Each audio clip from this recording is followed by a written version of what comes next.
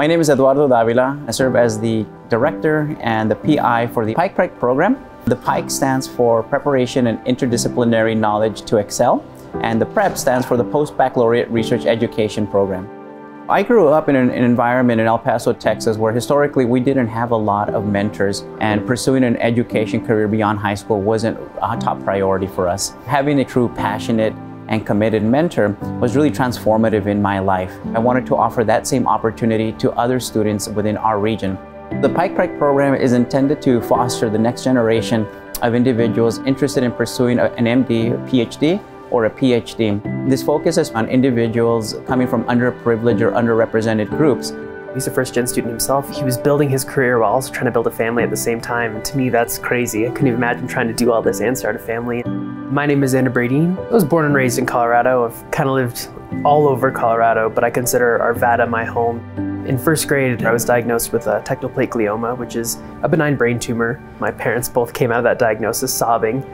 And I started crying because I didn't know what was going on. But then my doctor sat me down, showed me a picture of my tumor, started explaining to me what was going on, what they had to do. And I just thought it was just the most fascinating thing in the world. I thought, that's what I want to do. I want to be a doctor. My name is Leah Nez. I was born on the Navajo Reservation in Monument Valley, Utah. Yat e شئت لي النزين شيا أشيهن شلت خابها بشش چين بتأتني دش شي تخاتشيني دش نلا I work in Dr. Katrina Claw's lab. We look at the bioethical impacts that DNA research might have amongst Indigenous communities. Being in a lab setting with a lot of Indigenous people in person is very impactful. You don't see a lot of Indigenous people in science, and Dr. Claw and her community are working to change that. A lot of individuals coming from underrepresented minority groups don't necessarily have role models to guide them or introduce them to the field of biomedical research mentorship is the only reason I'm here today. I'm the first person in my family to even attend a four-year university, let alone pursue higher education. So this process, navigating it by myself has been very difficult. I don't think anybody can get anywhere without mentorship. To be completely honest, Pike Prep has like a really good foundation and groundwork that mentorship is actually one of the keys to success. Pike Prep is super beneficial because we have our graduate student mentors, we have our lab mentors, and we have these other people in this program that are just dedicated to making sure that you know, we have successful applications to grad school. There's people teaching us how to network. You know, these are skills that, you know, you gain slowly over time, like working in research, but this is a program that's kind of accelerated and very personal. They're really helping us get to this next step.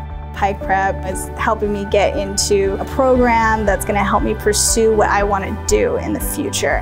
I am very interested in the field of bioethics. Bioethics helps us understand the moral and ethical obligations that researchers have to the people that they research. I work in the overlapping space between studying T-cell lymphoma and studying immunotherapy. My passion would be going into studying immunotherapy being used for brain tumors and brain cancers. Our current prep scholars are simply amazing. Each of them has such a wonderful backstory of obstacles that they've had to overcome just to be able to pursue their dreams. Watching them evolve over the course of the one year seeing who they started off as and seeing how mature scientists they've become is incredibly rewarding.